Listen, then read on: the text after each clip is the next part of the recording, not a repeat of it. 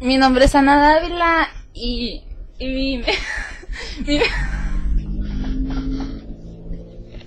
mi México del futuro sería más áreas verdes y, y menos violencia.